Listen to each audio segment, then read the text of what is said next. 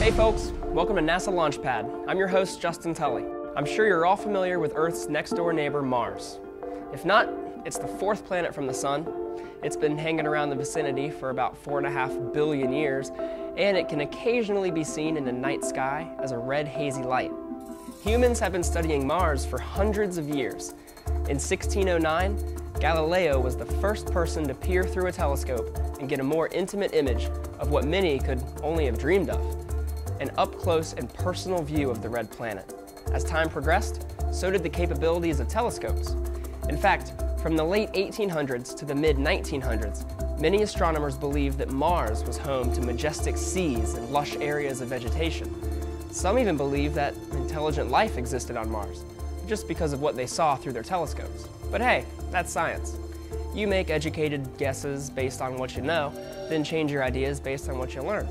Dark markings on Mars' surface were once believed to be caused by vegetation growing and dying. Thanks to new sophisticated equipment and robotic visits to Mars, it turns out they were caused by Martian wind. It wasn't until the 1960s, when NASA's Mariner missions flew by and snapped pictures of Mars, that many of the myths about the red planet were dispelled. That doesn't make it any less interesting, though. There is still the possibility of life having once existed on Mars, or presently existing on Mars. No, not in the form of little green men, but on a microbial level. Now, taking pictures is great and all, but nothing is better than the real thing.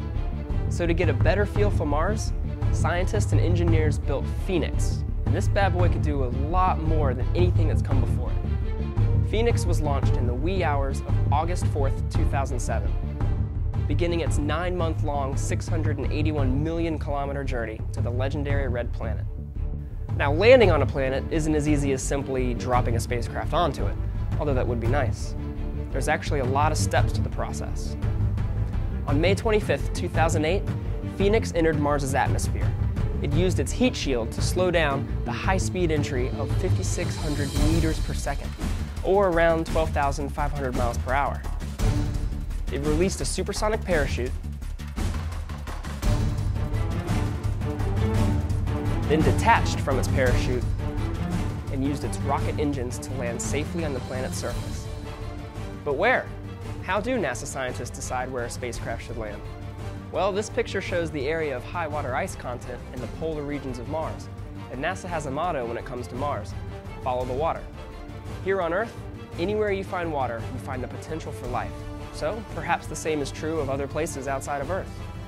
That being said, Phoenix's landing spot was further north and closer to the ice-covered poles than any spacecraft has ever been before.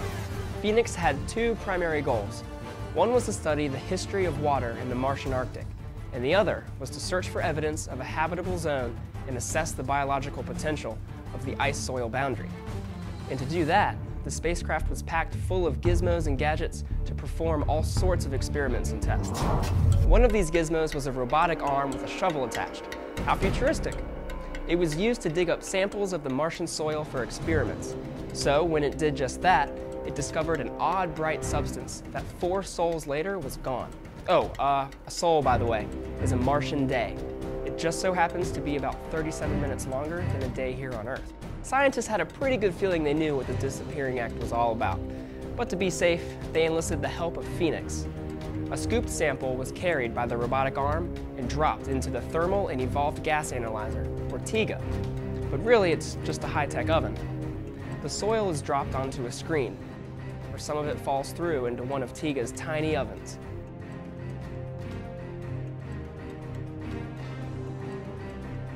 The oven closes and heats what's inside. The gases that come out of the oven are then analyzed. When this particular sample of the soil was analyzed, water vapor was detected.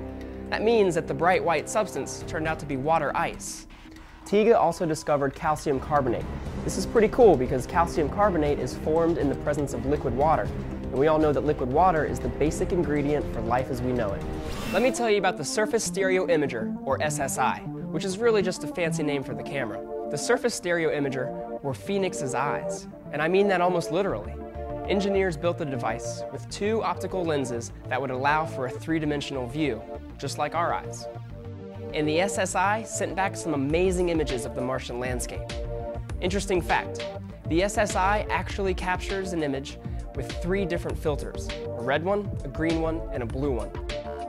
Once the images are beamed back to Earth, the colors are applied to each photo and then overlaid, getting a color image. It's pretty cool.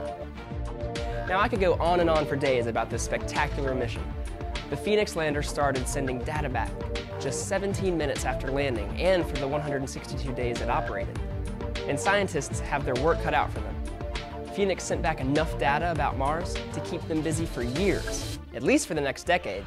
Being human though, scientists thirst for more. This is a good thing because that means that the next mission to Mars will be just as exciting. Perhaps it'll find proof that life once existed on the red planet. And one day, humans will be going to Mars. So each mission that we send to the rocky red planet is another step closer to actually stepping foot on its surface. Perhaps you'll be the first person to walk across the Martian landscape. Someone's got to do it. For NASA Launchpad, I'm Justin Tully. Thanks for watching.